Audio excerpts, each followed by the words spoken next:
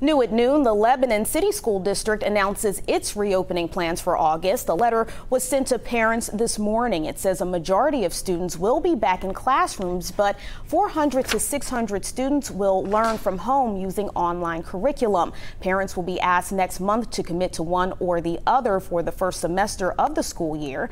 The district superintendent also says the first five days of the school year needed to prepare staff for the changes, so the first day of school for all grades will begin August 17th.